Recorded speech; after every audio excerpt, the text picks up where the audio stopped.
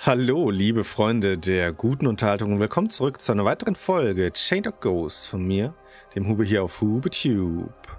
Und wenn ich gleich ins Spiel reinhoppe, wird es so aussehen, als wäre keine Folge verstrichen, wenn man die Folge davor gesehen hat, weil wir genau da anfangen, wo wir auch letztes Mal angefangen haben. Aber die letzte Folge war sehr kostbar. Schaut sie euch gerne an, wenn ihr sie noch nicht gesehen habt. Jetzt holt euch aber bitte erstmal was Leckeres zu essen, was Köstliches zu trinken und habt ganz viel Spaß. Danke schon mal fürs Spaß haben. ähm, ich habe offscreen auch ein wenig äh, Schmiedezeugs gemacht. Kann man das so ausdrücken? Ich glaube. Wobei nicht viel passiert ist. Ich habe in die Neurüstung, die wir gefunden haben in der letzten Folge, nochmal was reingeschmissen. Dann habe ich außerdem auch noch einmal äh, das Schwert verbessert und da LP, Regeneration 5%, wenn wir einen Gegner killen, reingehauen. Und das war's eigentlich schon. Was fehlt hier? Besiege Alpha-Wölfe. Okay.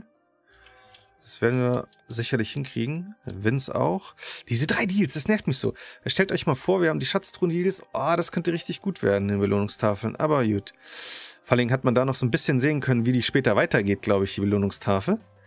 Ich freue mich, hab Bock. Noch ist das ein sehr, sehr geiles Spiel, auf das ich sehr Bock habe. Ich werde aber auch nochmal wieder was Neues auf den Kanal bringen.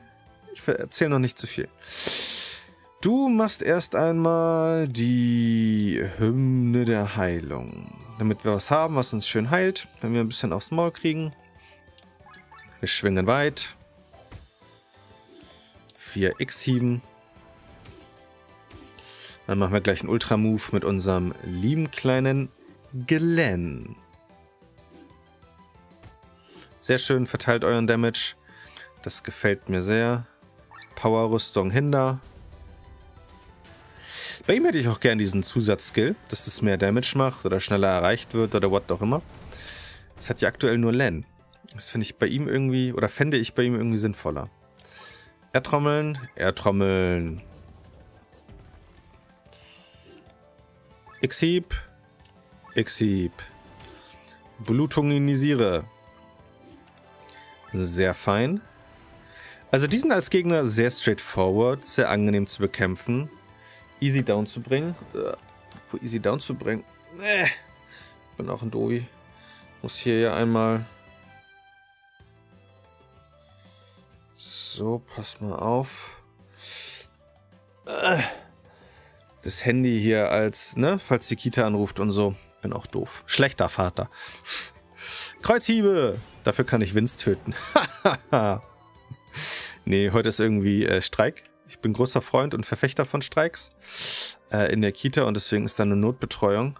Die haben meinen Kleinen und den Großen irgendwie zusammengeschmissen. Der Kleine war nicht happy darüber, als ich sie vorhin in der Kita abgegeben habe. Also echt nicht happy. Deswegen kann es ja sein, dass dann ein Anruf kommt, holen Sie ihn bitte ab, was ich dann halt tue. Ähm, hier, ganz wichtig, weil es sind drei. Und weiß immer nicht, wenn die ihren Angriff konzentrieren auf einen, kann das böse enden. Vielleicht fangen wir mal mit der Klingenspiegelung an. Das ist, glaube ich, ganz cool. So, haben wir erstmal kein Damage pro Gegner. Das ist doch geil, dass es dann so eine 100% Geschichte ist. Denn dadurch kommen wir erstmal in den Overdrive und können jetzt uns auf einen konzentrieren. Seine Rüstung brechen und schön zermalmen den Jungen. Oh, es ist gerade auch eine schöne Komposition an Kämpfern, finde ich. Wir haben so die äh, Buff-Schiene über Victor. Hallo, was war das? Wir haben so die diejenige, die Debuffs macht. Wir haben den einen, der echt gut Schaden verteilt. Schöne Komposition, wie gesagt. Wenn wir jetzt hier mal ein bisschen abwehren sollten. Ach, den kann man sogar was klauen. Cool. Ein Bestienpelz. Ja, mein Gott. Sie hatte Blütensturm und ich habe nicht angegriffen. Das ist natürlich nicht so smart gewesen dann. Ah. Ah, das ist ja jetzt blöd. Okay, ich glaube, wir müssen mal Full Helm gehen. Der Masurka-Schirm war aber auch nicht so geil auf ihn irgendwie. Und es ist halt auch wieder dieses, ne, komplett auf den eingegangen. Was ein Schmutz. Oh man. Na egal. Es ist ja jetzt nicht so, als hätten wir dadurch Angst irgendwie, dass der Kampf verloren geht. Aber die sind schon fies im Konzentrieren, ihre Angriffe. Das ist ein bisschen ätzend. Oh, der schöne Crit am Ende nochmal. Und weg mit dir. Yaitsu. Ach, der hat noch gar keinen? Ja, dann müssen wir ihn unbedingt mal in die Blutung bringen. Massenpanik von mir aus. Und ich glaube, jetzt können wir Full Helm, es ist völlig egal. Alles, was wir haben, auf ihn schmeißen, auch wenn wir dann im Overheat sind. Jupp. Und mit dem X-Heap. Higan. Auch diese verschiedenen Stile und so, ne, wie die kämpfen. Das ist echt alles sweet. Hat Hand und Fuß für mich. Haben wir eigentlich schon das gekriegt für Besiege die Schweineviecher? So. Hymne der Heilung. Wir könnten schon wieder Ultra moven, tatsächlich. Aber das lassen wir erstmal. Für den Gaffer gab es auch, gab's auch glaube ich, gar nichts im Board. Ah, Exhieb.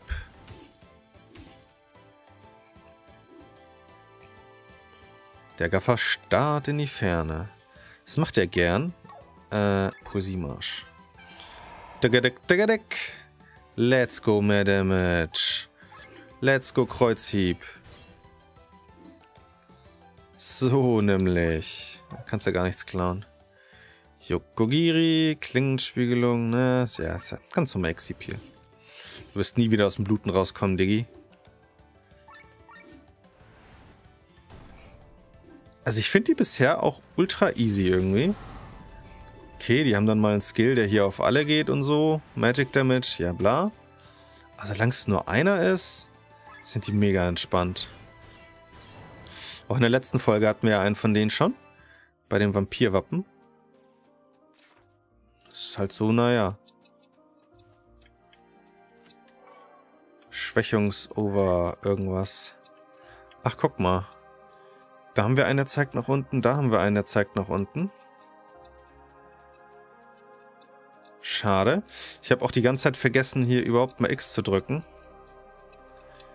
Blöd von mir. Sehr blöd. Großes Versäumnis tatsächlich.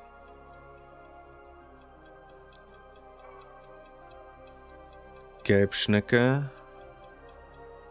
Oh, wow, weiß ich noch nicht. Okay. Ist das so cool, gegen Drachen hier kämpfen zu müssen? Das fühle ich ja irgendwie gerade gar nicht. Die machen mir ein bisschen Sorge, um ehrlich zu sein. Hartpanzer mal 4. Was ist denn das hier für ein Gebiet so grundsätzlich? Gibt's hier sonst nichts?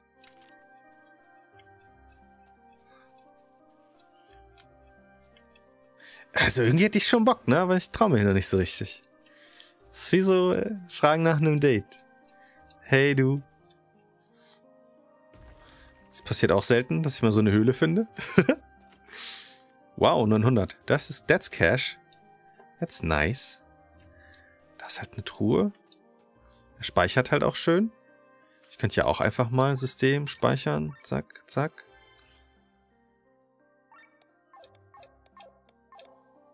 Komm, ist egal. Hinder. Hymne der Heilung. Weil Schisser. Und... Waldwürm. Schwerer Stoß. Uh, ist nicht viel Damage. Haha! Okay. It's a Gebiet. Wir sollten nicht sein, glaube ich. Ja gut. Ja gut. Kann man irgendwie fliehen? Wie war das hier nochmal mit dem Fliehen? Da entkommen. Okay, okay. Waldwürm ist noch so gar nicht unsere Kragenweite. Nehmen wir so mal zur Kenntnis. Gut. Was wir auch zur Kenntnis nehmen ist, dass coole Menschen Videos ein Like geben. Das ist halt einfach so. Seit Anbeginn der Steinzeit damals schon ist das irgendwann mal in heilige Bücher geschrieben worden. Menschen, die Videos, gern auch diesem, ein Like geben, ultra cool. Ultra, ultra cool. Wie hast du es eigentlich alleine durch Kotara geschafft, Sienna? Gefahren aus dem Weg zu gehen ist eins meiner Talente. Das scheint bisher nicht ganz geklappt zu haben. Nennen wir es eine Pechsträhne. Zugegeben, Kotara hat mir ein Liswan mit magischen Fähigkeiten geholfen. Ein Liswan, der mit Magie vertraut ist. Hm. Tja, wenn man sich mal nicht kennt, was Viactor? Ist nochmal das Symbol irgendwie? Hier gibt's keine Truhe. Das enttäuscht. Sind das diese Alpha-Wölfe? Oh, warte. Das sind nur Wölfe und ein Alpha-Wolf da hinten, wenn ich das richtig gelesen habe. Ja, ein Alpha-Wolf hinten. Bonus-Loot. Ja, machen wir den nochmal kaputt, wa? Ach ja, der glänzt doch so schön, jetzt sehe ich es auch. Uh, oh, ich habe vergessen, meinen Ultra-Move einzusetzen. Ich bin so dumm. Nein! Nicht Victor töten. Nein, sie töten Victor. Uh, alles cool, alles cool, alles cool. Schön vorausschauend.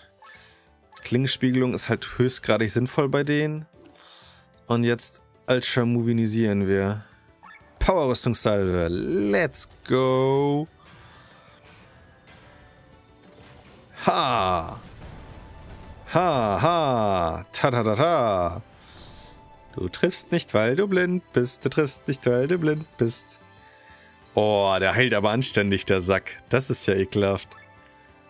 Schwäche ist Wind, also Druckpunkten. Yokogiri.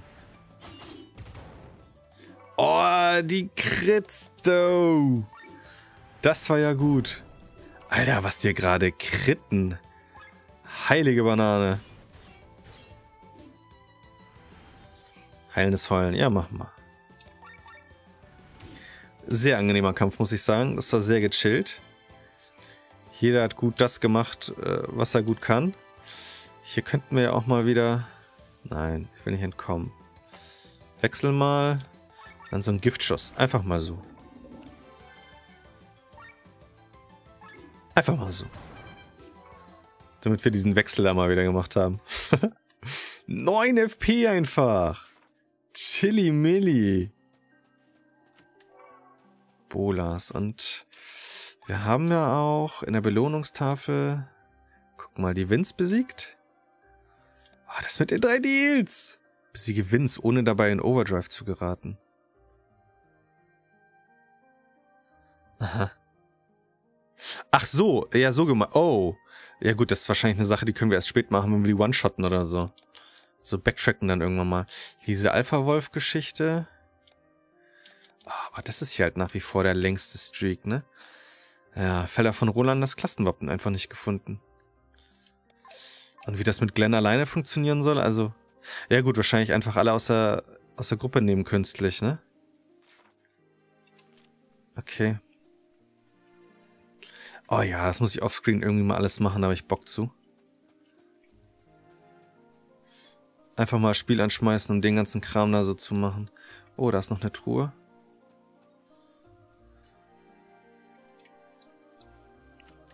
So, die nehmen wir natürlich mit.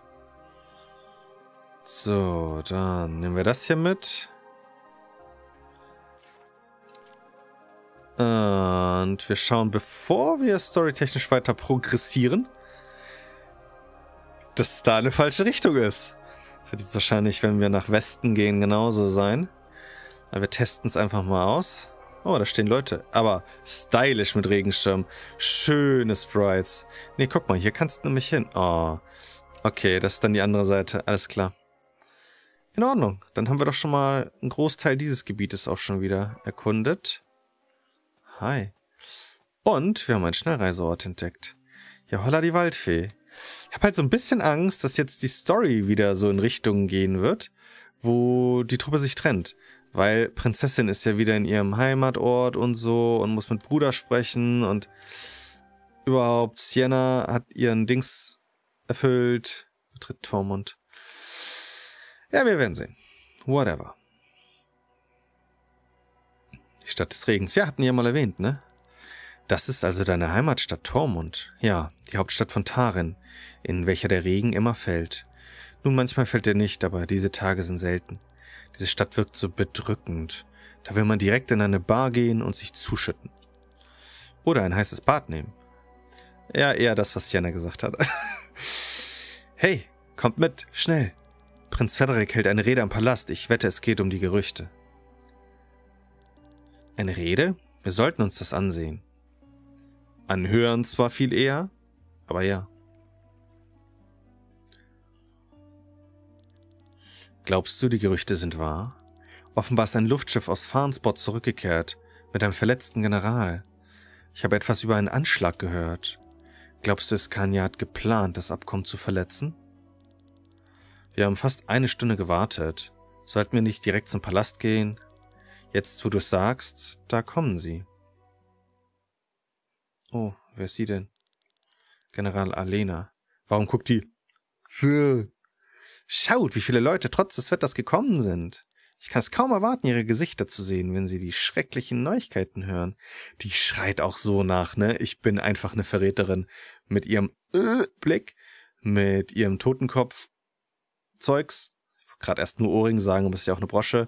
Ja, vielleicht sollte ich hier runtergehen, um es besser sehen zu können.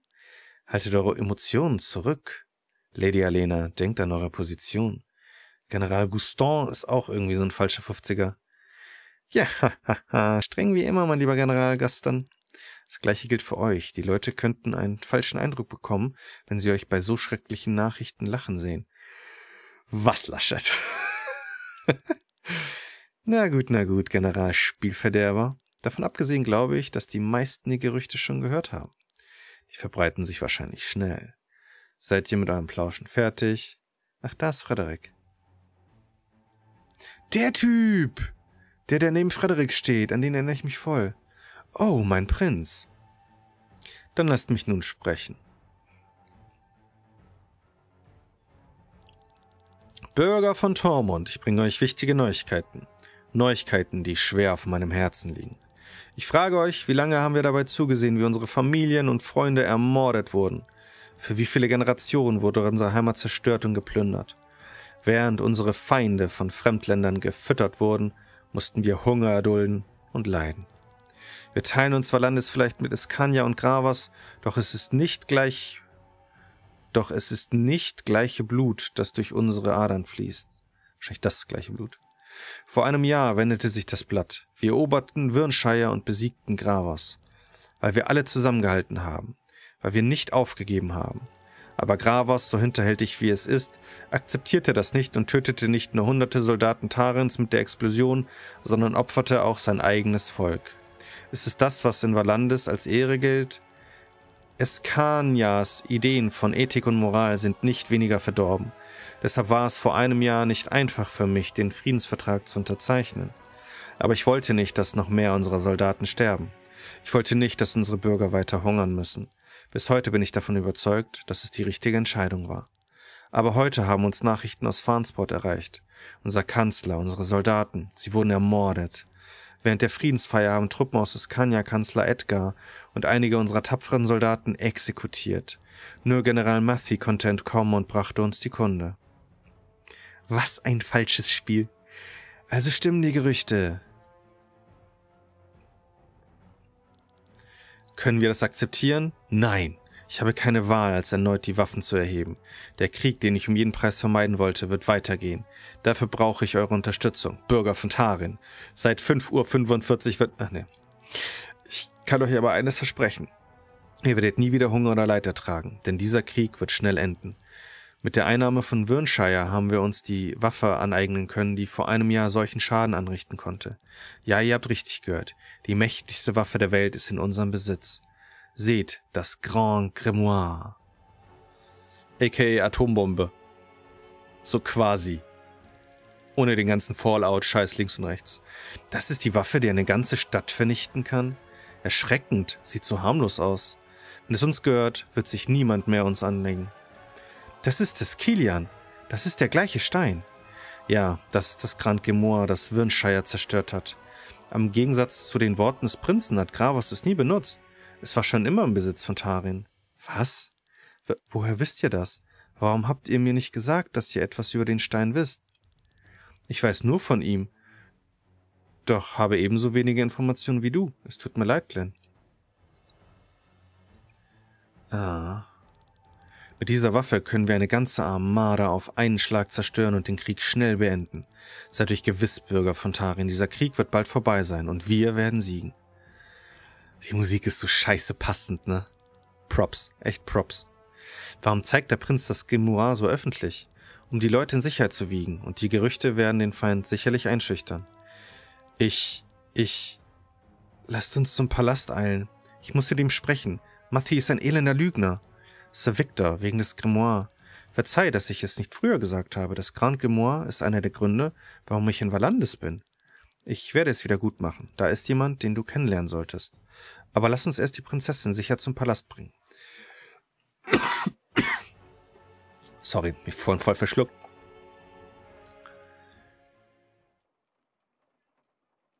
Oha. Das ist ja crazy. Liebste Schwester, dem Schicksal sei Dank, dir geht es gut. Worte können nicht beschreiben, wie erleichtert ich bin, auch wenn ich voll I don't give a damn aussehe. Nun sind sie endlich vorbei, die schlaflosen Nächte. Bitte sag mir, wo bist du gewesen? Es tut mir leid, Frederik, es war nie meine Absicht, dir Sorgen zu bereiten. Ich sollte wütend sein, aber da du nun zurück bist, kann ich das einfach nicht. Deine Begleiter haben meine tiefste Dankbarkeit. An jedem anderen Tag hätte ich ein Bankett zur Feier deiner Rückkehr veranstaltet, aber mit dem Krieg am Horizont müssen wir dem Volk ein Beispiel sein. Gräme dich nicht, von Banketten habe ich so oder so genug. Frederik, ich muss etwas Wichtiges mit dir besprechen. Ich war beim Bankett als in Farnsbord und habe gesehen, was dort passiert ist. Es waren nicht die Soldaten von Escania, die unsere Männer angegriffen haben, es war ein Dämon. Du sagst uns nichts, was wir nicht schon wüssten. was meint ihr? Sir Matthew hat uns davon berichtet. Sein Bericht über den Abend war sehr detailliert. General Matthew, warum erzählt ihr es nicht selbst? Du Wischer, Matthew. Also gut, wie die Prinzessin bereits sagte, wurde das Bankett von einem Dämon angegriffen, aber selbst das mächtigste Biest hatte keine Chance in der Anwesenheit der besten Ritter von Valandes. Das Monster wurde schnell besiegt, doch das wahre Monster hat sich danach gezeigt. Escania hat sein wahres Gesicht enthüllt. Kanzler Sigurd hat unsere Männer und Kanzler Edgar im Chaos des Angriffs ermorden lassen. Unsere Männer starben durch die Schwerter Escanias. Ich war mir sicher, dass sie die Schuld auf den Dämon schieben würden, doch ich konnte entkommen und euch mein Prinz die Wahrheit berichten. Das ist eine Lüge. Wie könnt ihr euch sicher sein, dass ich lüge, bei all dem Chaos, das dort herrschte? Hütet eure Zunge, elender Verräter. Vertraut ihm nicht. Ich habe mit meinen eigenen Augen gesehen, wie ihr den Räuber den Auftrag gabt, Lady Panela zu ermorden. Und das ist noch lange nicht alles, Herr Bruder. Nach dem Bankett bin ich heimgeeilt durch Kotara. Weißt du, wer sich mir in den Weg stellt? Dieser Mann, der sogar versuchte, mich umzubringen. Bei allem Respekt, das ist nicht wahr. Warum sagt ihr so etwas? Zunächst behauptet ihr, ich würde über das Bankett lügen und jetzt auch noch üble Nachrede? Mein Prinz hört nicht auf sie. Sie ist verwirrt. Du warst lange weg, Celestia. Lass uns später sprechen. Es wird das Beste sein, wenn du in deine Gemächer gehst und dich frisch machst. Für deine Begleiter werde ich die besten Zimmer der Stadt herrichten lassen und sie morgen fürstlich entlohnen. Naja, ich glaube, der spielt mehr mit, als das Celestia gegenüber oder Len gegenüber kundteilen will. Frederik, es ist nicht die rechte Zeit, sich um mein Wohlbefinden zu kümmern. Dieser Krieg basiert auf einer Lüge. Ich verstehe deinen Standpunkt und ich verspreche dir, wir werden heute Nacht darüber reden. Aber nun ruh dich erst einmal aus.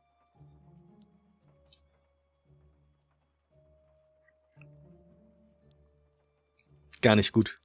Bitte fragt mich nicht erneut, das zu tun, Prinz. Es bricht mir das Herz, die Prinzessin anzulügen.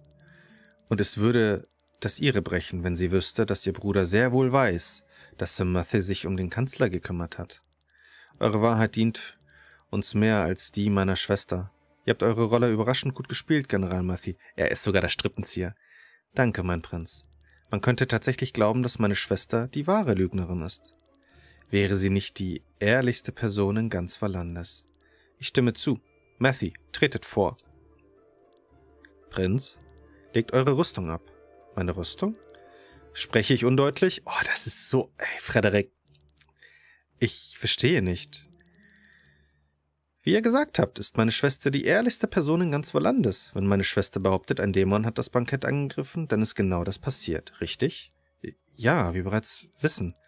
Wenn meine Schwester sagt, eine Gruppe von Zwergen stünde auf diesem Turm und würde den Mond besingen, dann stünde eine Gruppe von Zwergen auf der Spitze genau dieses Turmes und würde den Mond mit dem schönsten Gesang aller Zeiten beglücken. Prinz? Und wenn meine Schwester sagt, ihr wolltet sie umbringen, dann habt ihr das tatsächlich versucht. Wartet, bitte, sie hat das gesagt, um mich zu diskreditieren. Also ist meine Schwester doch eine Lügnerin? Nein, ich meine in diesem Fall Prinz. Heute scheint euer Glückstag zu sein, General. Eigentlich hätte ich euren Hals aufgeschlitzt. Aber, da eure Aussage die Basis für diesen Krieg ist, würden die Leute skeptisch werden, wenn ich erklären müsste, wieso ich euch nach eurer heldenhaften Rückkehr exekutiert habe. Es, es tut mir leid, bitte, ich wollte Tarin nie schaden. Aber die Leute werden sicher keinen Verdacht schöpfen, wenn ich erzähle, dass General Mathy vom blutigen Bankett mit nur einem Arm und einem Auge zurückkam. Nein! Ah! Oh, ist der abgenudelt, der Typ. Crazy. Sir Victor hat gesagt, er wird mir jemanden vorstellen, der mir mehr über das Grimoire sagen kann. Aber es ist schon eine ganze Stunde vergangen. Sienna und Killian gingen in die Stadt. Rob und Len sind im Schloss geblieben. Ich bin zu nervös, um hier zu warten. Vielleicht sollte ich auch die Stadt erkunden. Werden wir definitiv tun.